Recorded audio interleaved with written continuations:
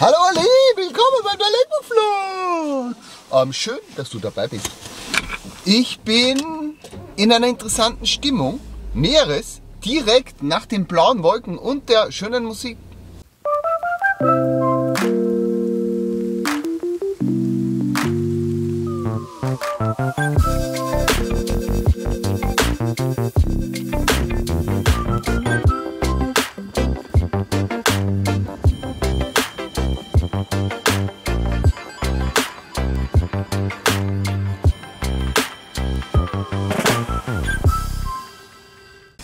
Es ist bitte folgendes. Ich war, ich bin doch depressiv. Ich bin depressiv. Kein Geheimnis. Und die Situation ist folgende. Letzte Nacht war ein Horror. Ein Albtraum, ja, das große Thema, nach dem anderen. Und die Angst, sich jetzt damit zu beschäftigen. Denn wir haben ja gestern mit dem Anwalt telefoniert und er hat gesagt, was er braucht. Und was er braucht, ist natürlich Fakten, Dokumente und Informationen. Und davor habe ich mir ein bisschen gefürchtet, wenn ich das so sagen darf. Ich habe nicht nur ein bisschen gefürchtet, ich habe mich massiv gefürchtet. Und dann bin ich drauf gekommen, dass das Thema ja gar nicht 2021 begonnen hat. Das Thema hat 2018 begonnen. 2018 hat das Ganze begonnen. Und wenn man jetzt nicht 2021 beginnt, sich damit zu beschäftigen, sondern 2018, dann schaut die Sache ganz anders aus. Und mit dieser Faktenlage von 2018 geht es mir gleich viel besser. Ja, da ist nämlich viel niedergeschrieben und es gibt viele Belege per E-Mail und sonstigen Kommunikationsmöglichkeiten mit Behörde, wo man dann sehr leicht nachvollziehen kann, was die für Scheiße gebaut haben. Jetzt ist natürlich die Frage, ob ich das jetzt noch ins andere Gerichtsverfahren reinwerfe. Diese ganzen Erkenntnisse. Denn da sind sie nicht so schön aufgegliedert denke ich mal. Oder ich habe es massiv verdrängt. Wahrscheinlich habe ich es nur massiv verdrängt. Wahrscheinlich ist es eh drinnen. Ja, jetzt ist halt die Frage, wie tut man denn damit jetzt und wie tut man da weiter? Jedenfalls bin ich hochoptimistisch. Äh, ich kenne mich jetzt total aus, warum was wie abläuft in diesem ganzen Verein.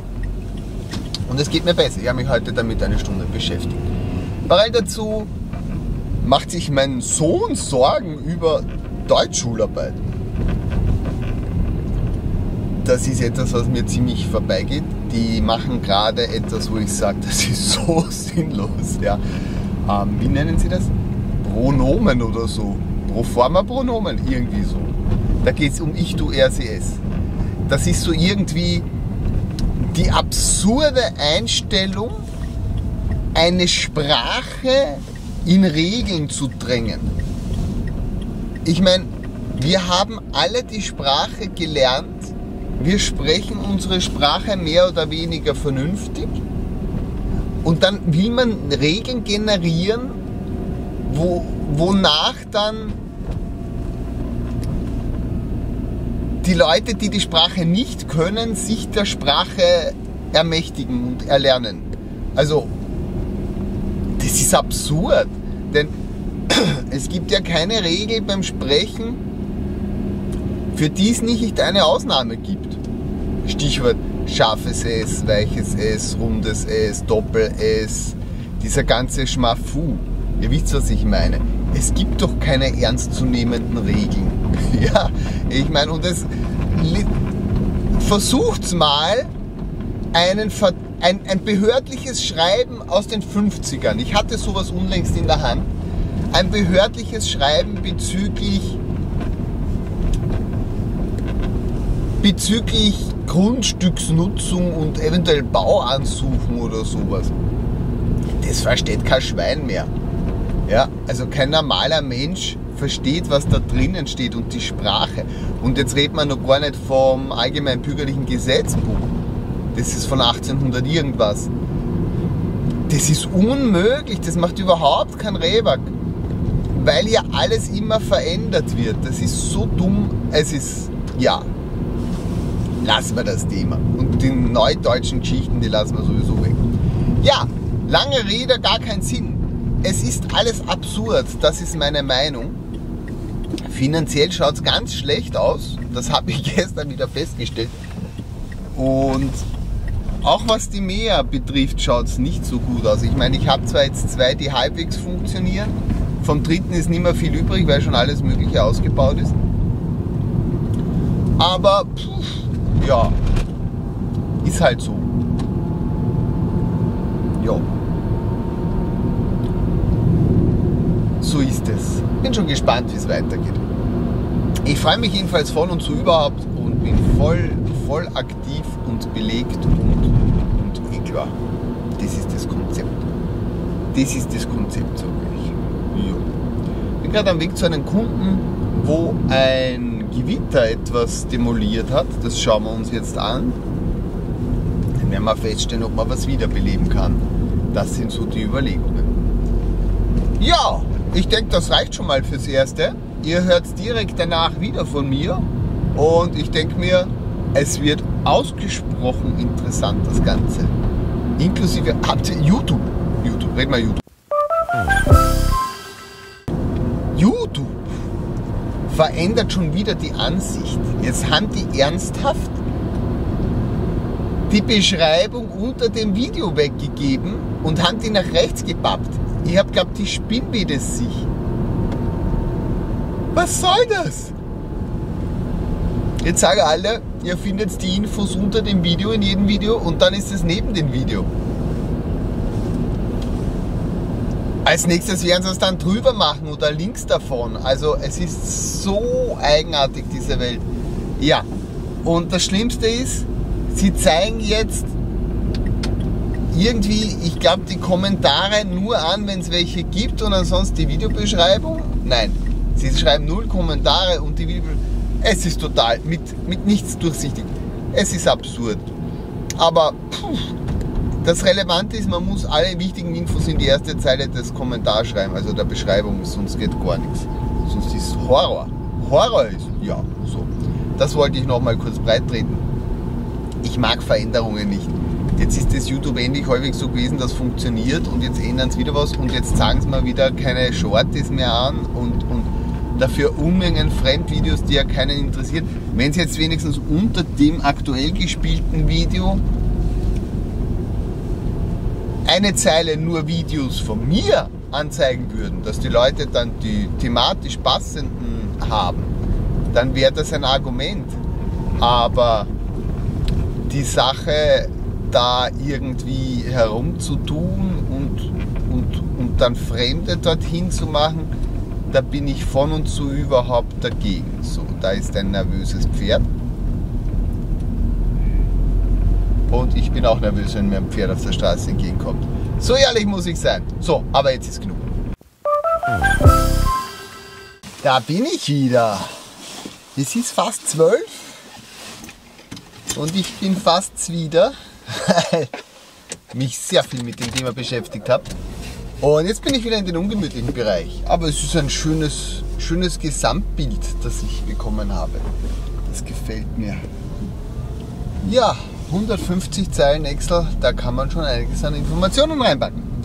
Zu mir, es tut mir entsprechend der Kadaver weh. Konkret die körperliche links-hinten Abteilung, weil ich vom PC gesessen bin. Ich habe mit Lenovo virtuell diskutiert. Das ist schon ein schwieriger Verein. Ich bin gerade sehr am Tentieren, mir das zu überlegen, ob ich mir das weiter antue. Da, da überlege ich gerade so. Naja, schauen wir mal. Wir sind ja höchst flexibel und überhaupt. Man muss sich anpassen an die aktuellen Gegebenheiten. Und jetzt ist die Überlegung, was mache ich? Ich glaube, ich will raus. Nein, ich weiß, ich muss raus, sonst Kopf kaputt. Ich habe entschieden, es gibt heute Raclette. Ja, meine Familie wird jubilieren. Wir haben nämlich Unmengen Raclette-Käse in der Tiefkultur und da habe ich welchen rausgenommen. Da organisiere ich jetzt so ein paar Schwammerl und ein bisschen Mais. Kartoffeln haben wir noch. Dann wird das eine ganz wunderbare leckere Angelegenheit. Salaten, wir haben Tomaten. Vielleicht machen wir einen Tomatensalat dazu. Bin ja höchst, höchst flexibel und von und zu über. Am Wochenende im Kindergarten kocht meine Frau. Ja, was Leckeres, so mit Nudel und, und Tomate und, und lauter schlimmen Dingen. Da freue ich mich schon. Und ansonsten hoffe ich, dass ich heute kurz die Werkstatt beim Rasenmäher, beim Rasenmäher aber nicht, das ist ja nass. Ich glaube, die lasse ich versunken. Wobei natürlich perfekt, also ich habe gestern Grassamen noch gestreut, weil ich glaube, dass der aufgeht. Ähm, hätte ich gemacht, hätte jetzt ein bisschen drauf geregnet, das wäre genau genommen die Optimalsituation, sofern es nicht weggewaschen wurde, das Graszeugs. Mal schauen. Ja, leicht konfus. E-Mail-mäßig relativ friedlich, kein Schmafu grad. Die eine Sache, ob wir einen Blitzschaden in einen 8 Jahre, 6 Jahre alten Rechner richten, nein, 14, 8 Jahre alt, nö, wollen wir eigentlich nicht anfangen. Da werde ich mal ganz ehrlich sagen, dass das unrentabel ist, oder? Ja, man muss ja nicht jeden Schmarrn handhaben. Ja.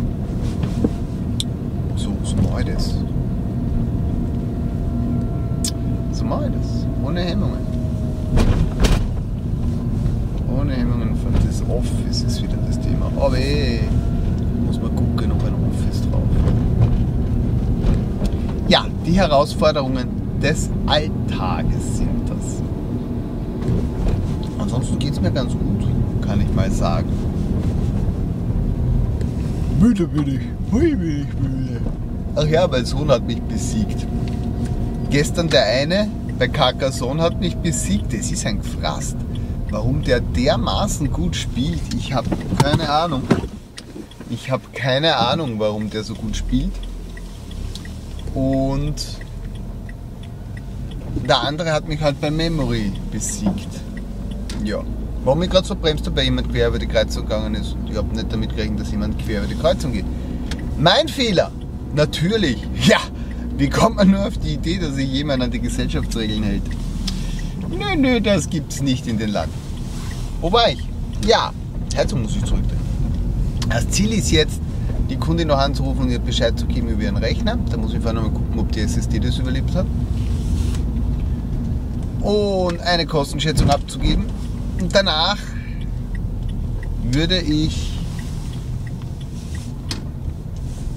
Hui, stehe ich ja im Parkverbot? Oder gehe ich weit? Da ist ja Urstau. Ich bin entsetzt. Na gut, 10 Minuten dürfen wir ja auf der Seite nachstehen. Stehen wir heute mal auf der anderen Seite. Ähm, wo war ich? Ja, rauszugehen. Ziel äh, Holzlager. Ich würde gerne von und zu überhaupt ein paar Holzstücke schneiden, weil es ist nämlich, oder spalten vielleicht sogar, mal gucken, denn es ist null Holz noch da. Und wenn null Holz da ist, muss man aber halt müssen wir duschen. Und mit 30 Grad duschen ist schon eine Kaltduscherei, oder? Ja. So machen wir das. Euch zeige ich die Kubizahlen und dann reden wir weiter. Covid-Zahlen und Fakten für den 3.5.2023. Ich glaube, das können wir uns sporen, oder? 632 laborbestimmte Fälle, 1114 genesen und 43,8 ist die 7-Tage-Inzidenz. Ich kenne mich überhaupt nicht aus, was jetzt noch aktualisiert wird oder nicht. Ich freue mich über eure Rückmeldungen. Wir machen heute Raclette. Ich habe bereits mit einem Kinderwagel diskutiert und habe Holz ins Haus geholt und eingeheizt. Ja, so schaut's aus im Mai. In diesem Sinne, bis später, bis dann, bis dann hier auf diesem YouTube-Kanal.